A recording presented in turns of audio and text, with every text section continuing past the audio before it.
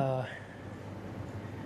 took me a long time to get that shirt, and I've been wanting to wear that and and uh, and bring awareness uh, to the fact that you know if there's there's people that have been killed on the street, and there's someone got killed in their in their own house, and they're in the wrong house, and those guys are still walking free, and we can't rest. We can't. Uh, we have to continue to, to, to raise awareness of it with it, and uh, and Naomi has been doing amazing. So huge congratulations to her, and I think she's an incredible inspiration with what she's done with her platform. So uh, I think we just have to continue to, to, to push on the issue.